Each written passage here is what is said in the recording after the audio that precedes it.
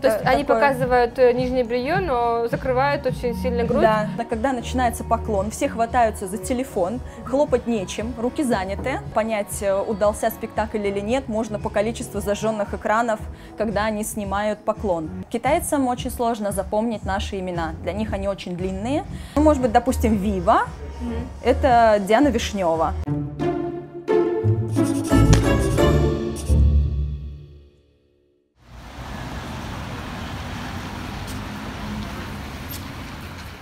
Нихао.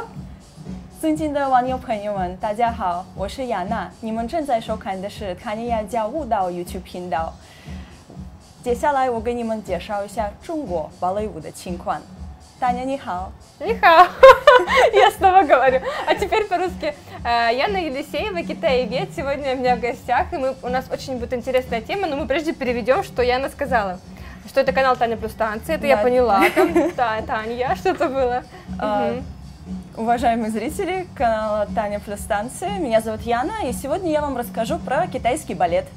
Да, вот такой необычный у нас сегодня э, топик, э, тема, потому что я видела Янин инс- инстаграм, м, видела ее посты, ссылка на ее инстаграм в описании под видео, и начала читать, и стало мне очень интересно, потому что Яна сейчас расскажет о себе, она очень много, долго была в Китае, как я понимаю, и знает как бы очень много как человек-инсайдер, и причем и при этом интересуется балетом человек. В общем, в общем по порядку. Во-первых, с того, как долго ты в Китае, ты жила там, работала, и как ты начала заниматься балетом, вот это все, как это совместилось? Так, по профессии, как вот уже сказали, я китаевед. Соответственно, закончила университет в России, уехала в Китай, потому что надо было язык подтянуть э, и поработать, больше узнать страну. Вот э, так сложилось, что я там больше 10 лет своей жизни провела. Балетом я стала увлекаться в Китае.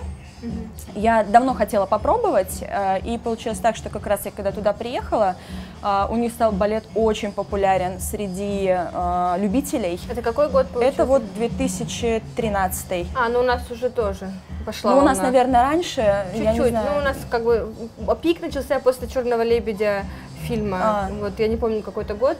И тогда тоже начали открываться школы для любителей. Ну, что-то, мне кажется, примерно. Ну, может быть, примерно в одно и то же время. Вот. И, в общем, можно сказать, мне повезло, потому что ну, выбор студий большой, преподавателей.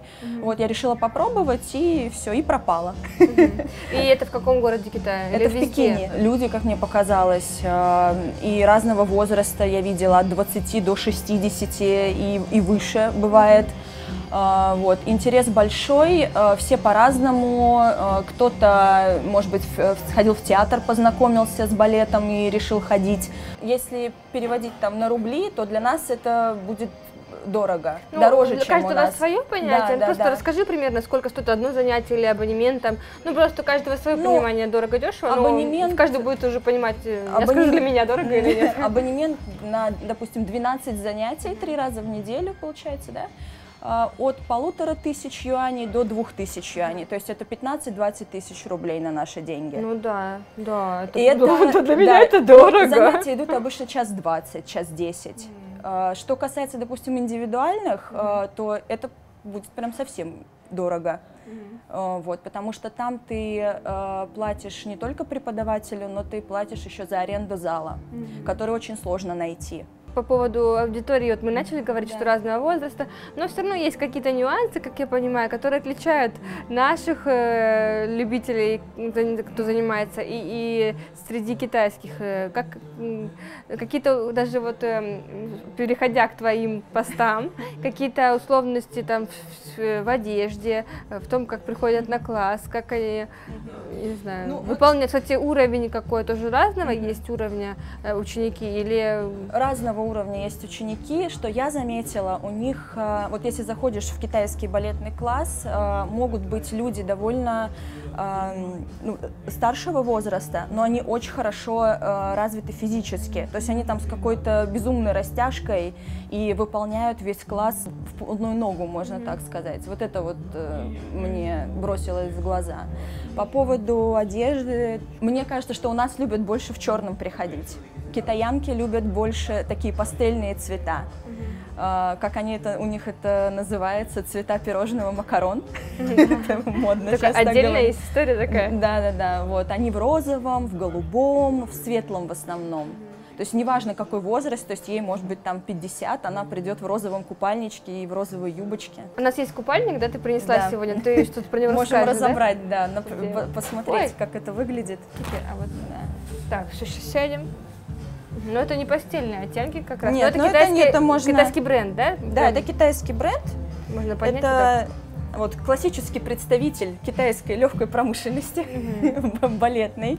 Почему именно его взяла, сейчас э, расскажу. Ба, я такой не знаю, конечно, у нас такой Ну, не у нас такого нет, да. Ну, на, А, на eBay, может быть, где-то. Алиэкспресс. Например, европейцам нам очень довольно сложно купить в Китае а, подходящий купальник, который сядет хорошо по фигуре.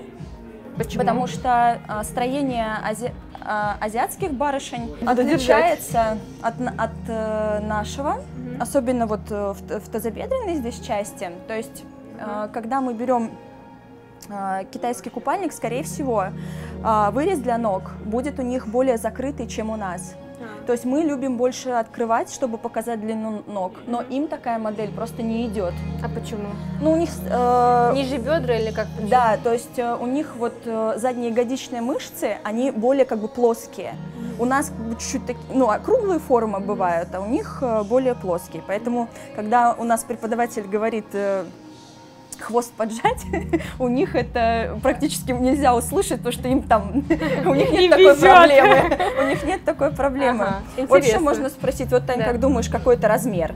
Это L, мне кажется. L? Да. Ну, вообще сразу, да, Да? сказала, но Классно, я к тому, что Меня, мне когда спрашивают возраст, я тоже говорю, что все-таки да. Я к тому, что я обычно ношу S, но в Китае, э, так как люди как бы меньше чуть-чуть, и, э, да, и по весу э, весит меньше, по, по пропорциям, по параметрам. Соответственно, если я в России, допустим, покупаю XS, S, то в Китае это будет L или ну, на размер или два больше. Давайте заглянем внутрь сначала. Давайте, я не смогла открыть. Да, а, значит, э, какая еще есть особенность? Э, В Китае, если вы захотите купить купальник, э, то, скорее всего, он однозначно будет э, с вкладышами. А, уже будет Уже там. будет, да, там. То есть в интернет-магазинах, э, если онлайн покупать, там э, сразу будут прописывать, что обязательно э, идут э, в наборе вкладыши. Объясню почему. Я первый раз оказалась э, в китайском балетном классе любителей. Вот, они меня шокировали не только хорошими э, физическими данными, растяжкой, но и тем, что нижнее белье у них выглядывает из-под купальника. Ну, то есть даже при том, что у них ниже э, опускаются. Да, да, то есть, принципе, европейскому человеку в Китае купить, допустим, джинсы, нижнее белье довольно проблематичная история, потому что у них отличается крой. Вот. И и я, а я их шокировала тем, что пришла без вкладышей. То есть пикант- пикантно, у меня тоже Да. всегда пикантно Вот. верхняя часть. То есть Все там- все поняли. Там это недопустимо. То есть Та- они такое- показывают э, нижнее белье, но закрывают очень сильно грудь, Да, да. чтобы ничего не, не Да, просвечивалось. Не, не просвечивалось, а Не выделялась. Да, не выделялась. а, Даже вот э, просто если идти по улице, например, можно часто увидеть китаянок в очень коротких мини-юбках, прям вот, ну, э, очень-очень коротких. Э, И это нормально, то есть это не считается чем-то неприличным, но вы никогда не увидите китаянку э, в декольте, например. или без э, или в тонкой футболке Да, без да, нет, нет, нет, это невозможно. Вот, что еще можно про него сказать, что это крой в стиле китайского традиционного платья, типхао, которое называется. А, да. А, то есть они очень любят а, на- э, такие купальники. А, здесь это вот его отличает воротничок стоечка. Причем вот такая сточка Да, прям да, стоечка вот действительно здесь в китайском вот, стиле. Да, да, да. И Ага. еще обычно это, может быть, не совсем стандартный вариант. Еще обычно у них идет разрез по косой вот сюда. И на традиционные пуговички застегивается. А, Они вот такое любят, да. Хорошо, перешли мы к театрам плавно. И часто ли ты посещала театр? Как там у них все устроено с точки зрения репертуара? Э, какой, очень интересно, какой у них идет репертуар. И посещение э, пос- посетителей театра, как все устроено. Я да, начала не только там заниматься сама в Китае, но и активно смотреть. Э, китайское общество сегодня, у них есть запрос на э, культуру, они готовы платить, тратить свое время на это, и э, Китай может себе позволить привести топовые мировые труппы, что они, в общем, делают, то есть программа у них балетная, на самом деле, очень богатая, и можно посмотреть не только наши труппы, да, но и европейские, американские, японские, корейские. Балеты классические постановки не всегда наши. Mm-hmm. Вот. Но как бы они в репертуарах есть, но мне э, было интересно больше смотреть там именно аутентичные китайские балеты на их сюжеты. Потому что все-таки интересно, что они сами ставят, э, что они хотят этим сказать, э, на что идут люди, как они реагируют, то есть они, что они смотрят, как они смотрят, э, как, ну, как аудитория на все это реагирует. Вот. Ну, можно какой-то пример привести. Да, ну, можно привести, например, а, есть балеты, так называемые патриотические, которые нигде в мире больше посмотреть нельзя. То есть это на тему а, борьбы коммунистической партии Китая за э, свободу и так, ну, и так далее. Mm-hmm. Тех, кто Китаем интересуется, это обязательно к просмотру, потому что это часть их истории. Вы себе не представляете, купить билет невозможно на такое. Как на Щелкунчик у нас ну, да. Или на спящую красавицу. У них вот красный женский отряд, борьба там э, женских э, отрядов в лесах Хайнаня за, с богатыми там феодалами, с кем. Это очень популярный сюжет. Ежегодно на 8 марта они показывают этот балет. Есть еще сюжет, например, по традиционным каким-то по традиционным сюжетам. Ну, один из самых таких популярных э, китайских именно балетов, которые часто э, ездит китайский труп, труппа, ну, национальная труппа Китая ездит с гастролями, это высоко весь, повесить красный фонарь. Это по, сня, э, был поставлен балет по одноименному фильму режиссера китайского Джана Имоу. Он в свое время был номинирован на Оскар за лучший фильм на иностранном языке. Вот если кто не видел, если вдруг где-то э, встретится, получится посмотреть, я очень рекомендую, потому что снят, э, поставлен, на мой взгляд, очень интересно. Балет именно. Балет именно. То есть это китайский колорит, китайская традиция о э, традиционном обществе китайском, китайском когда э, там идет э, речь о там, судьбе женщины, а, как развивается вообще китайский балет, э, в каком направлении он движется. Это традиционная традиционный классический балет да, на основе нашей школы, но э, с привлечением туда э, китайского национального танца. Интересно. Да, то есть там можно наблюдать вот такую вот смесь. Я читала критику, что мной писали о том, что да, хореографический язык довольно простой. Но мне кажется, все-таки китайские балеты не нужно вот раз, разбирать вот так вот по частям, потому что лучше смотреть, воспринимать его целостно, понять, что они хотят этим передать, э, что они хотят этим сказать. Для них все-таки балет это не такое традиционное угу. искусство, как для нас, уже сложившихся там поколениями. А, как они смотрят, как, какие у них правила. По поводу театров э, могу начать с того, что э, в Китае нет такого понятия, как репертуарный театр.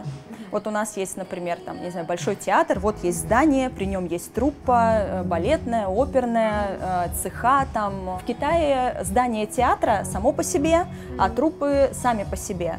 Да, то есть э, труппа, она приходит в театр только выступать. Э, как на гастролях база, всегда. Да, репетиционная база у них э, ну, отдельно. И с именно площадкой, где они выступают, не связано. Раньше, когда, ну там, может быть, лет там 10 назад, смотреть в Китае что-либо было довольно сложно, потому что э, зрители э, ко многому были не готовы.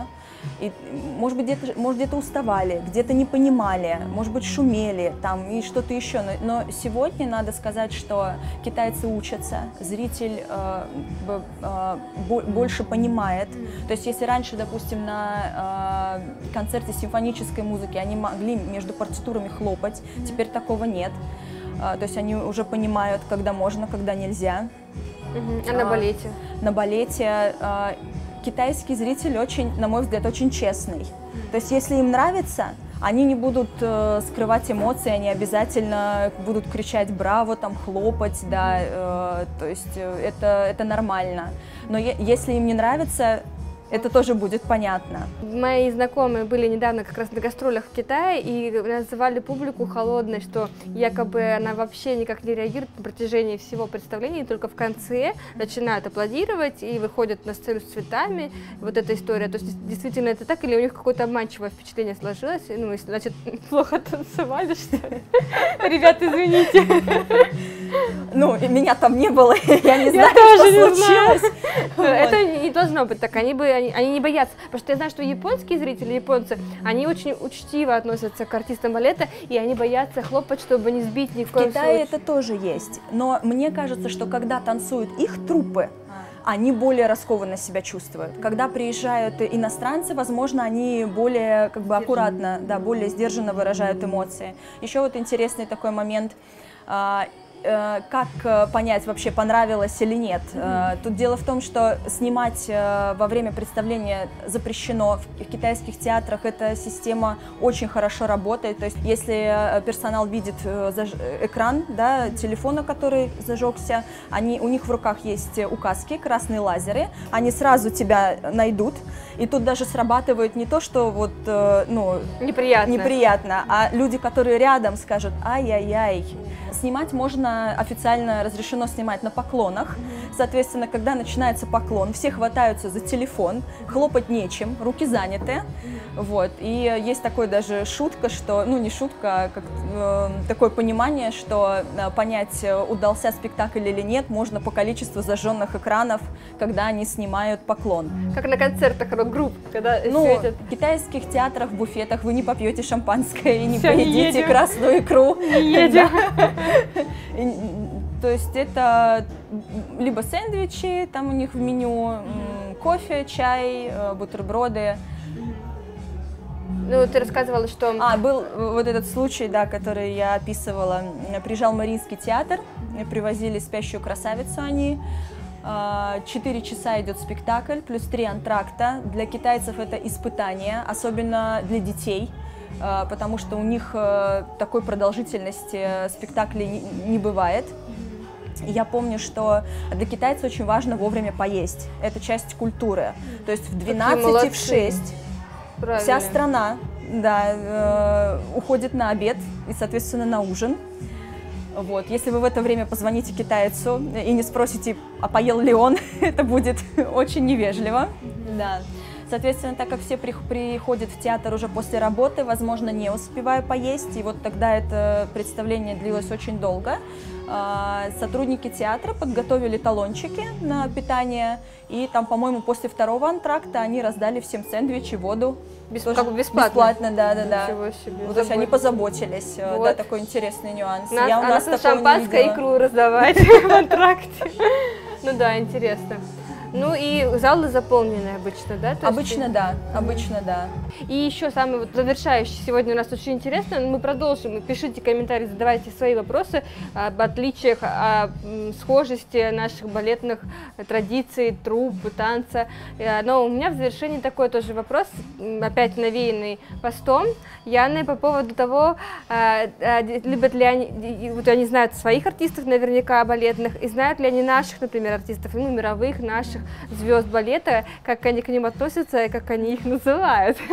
Да, это тоже очень интересная такой, такая история с именами. А, Китайцам очень сложно запомнить наши имена. Для них они очень длинные, потому что э, как бы с лати- э, читать латиницу а- э, они э, не всегда могут правильно, потому что, чтобы правильно произнести, надо хотя бы русский знать.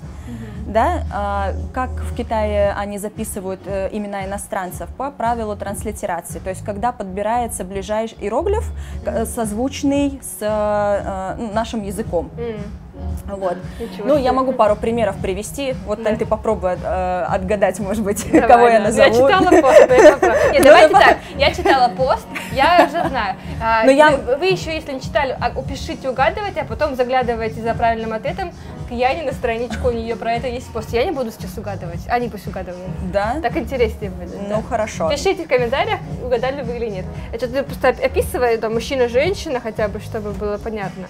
Ну давайте женских Женские имен начнем. примы. Примы да, России. примы, России. примы, примы России. Ну, например, ну, начнем попроще. Ну, например, э, Суэт Хелана Джахалова. Ну, это очень просто. Ну, Это очень просто. Ну, хорошо. Они вот это все произносят? Это все иероглифы? Это все иероглифы. Ага, интересно. А, Например, еще Аукесана Сыкалика. Еще раз? Аукесана Сыкалика. Нет, это уже даже я не помню, кто это. Может быть, я просто, я же Ну, не может быть. слышала. Да, ну, например, еще Лейнатха Шатилова. Это я, знаю, я поняла, Ага. это понятно. Это так созвучно, иероглифы звучат с именем. Ну, э, слоги. Под каждый Да. слог подбирается иероглиф, который максимально близко передает этот звук. Такой труд, мне кажется. Хорошо. И они как-то еще по-другому Да, по- употребляют. э, соответственно, это все же очень длинно. Китайский язык, он очень емкий, но вот эти фамилии, они там, э, их набрать, например, э, в текстовом сообщении, это довольно, во-первых, запомнить трудно, и набрать их еще это очень долго. Поэтому если как китайские балетоманы вышли из этой ситуации, они, китайцы вообще очень любят все сжимать, сокращать в языке, китайский язык склонен к этому. А, Чтобы было понятно и быстро, они придумали следующее. Они а, взяли последний слог вот этот, э, на который «ва», на который оканчиваются женские русские фамилии в основном. Ова, то есть у нас, Нет, да? «ва». «Ва», он произносится как «ва». И они к нему добавляют э, латинскую букву, первую букву фамилии балерины. Ну вот, допустим, это может даже как-то лучше наглядно делать, э, ну, может быть. Ну, я нарисую там титры. да, ну, может быть, допустим, «Вива» Мгм. — это Диана Вишнева. Ой, красиво звучит. Э, ну, то есть э, Ви и Ва, вот этот вот, который Вишнёва, означает... Вива. Ва, да, это именно последний слог женских э, русских Да. фамилий. Я понимаю. Да, ну там э, то же самое Зейва, это Захарова. Захарова, да. А Красанова Ква? Кейва, Кейва, Кейва, да, они Ага. так произносят. Ну да, интересно. А как они людей с одинаковыми начальными буквами э, раз- различают? Ну вот э, они иногда вместо латинской буквы э, подпис- э, выбирают иероглиф который созвучен, опять же, с первой э, буквой фамилии. То есть, например, Екатерину Кандаурову они назвали Канва. Э, Кан, э, соответственно, он на К начинается, этот иероглиф, но здесь еще есть такая особенность, что китайцы просто так имена не дают. Это обязательно должен быть какой-то э, смысл передан. То есть иероглиф Кан означает э, там здоровье, процветание. Соответственно, это очень хорошее такое сочетание получается. Мгм. Интересно, знают сами итоге. артисты об этом? Не знаю. Очень интересно, кстати. Да. Если есть у кого-то возможность, спросите у артистов. Или у меня, может, когда появится, очень интересно. Мгм. Спасибо большое, очень, Пожалуйста. очень интересно сегодня выпуск получился. Лично мне было очень все это интересно. Еще раз даже, несмотря на то, что я некоторые вещи читала, мне было интересно послушать лично от Яны. А, Пишите, как вам, задавайте свои вопросы. Если вам понравилось, то мы можем продолжить. Пригласим Яну еще раз к нам. Подписывайтесь на инстаграм ее, потому что у нее как раз это, этих постов достаточно много. Почитать еще раз, узнать что-то, расширить свой кругозор. Спасибо вам. Сесянимен. А, друзья, если вам интереснее наблюдать э, за балетом так же пристально, как я это делаю, подписывайтесь на инстаграм Полины, он указан под видео, как всегда. Э, и подписывайтесь на канал, оставайтесь с нами, ходите в театр. И, и в большой тоже желаю вам попасть. Э, смотрите балет. Пока-пока.